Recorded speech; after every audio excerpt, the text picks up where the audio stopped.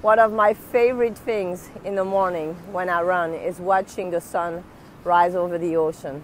Such a deep sense of inner peace, of getting in touch with my own energy, of getting in touch with all the elements and feeling gratitude and appreciation for everything that is.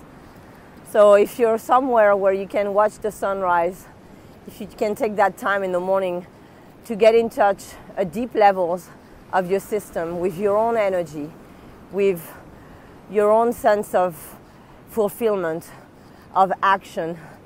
It's a wonderful thing. I hope you have a wonderful day.